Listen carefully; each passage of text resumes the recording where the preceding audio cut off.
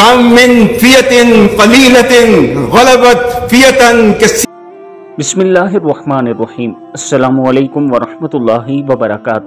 वो लोग जिन्हें आर्मी चीफ से बड़ी तकलीफ़ है इस वक्त, उन्हें किस वजह से पाकिस्तान के आर्मी चीफ से तकलीफ़ है?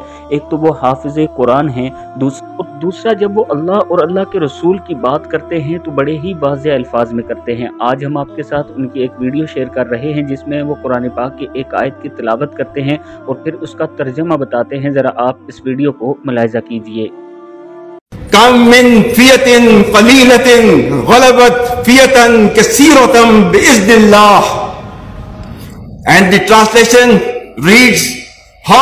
times it happened?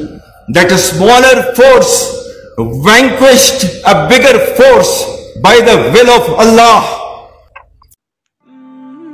इस वीडियो में आप दोस्तों ने पाक फौज के आर्मी चीफ की ये आयत सुनी कि किस तरह तलावत कर रहे हैं और उसका तर्जमा बता रहे हैं। अब यहाँ मैं अपने तमाम चाहने वालों को यह बताना चाहता हूँ कि पाकिस्तान के वो सियासतदान इन पर एतराज़ कर रहे हैं जो खुद सुरह खलास भी सही तरीके से नहीं पढ़ सकते। और यहाँ तक कि जब उन्हें कोई छोटी आयत पढ़ने के लिए भी कहा जाए तो वो भी भूल जाते हैं और अक्सर नमाज़ में भी गलती कर रहे होते हैं।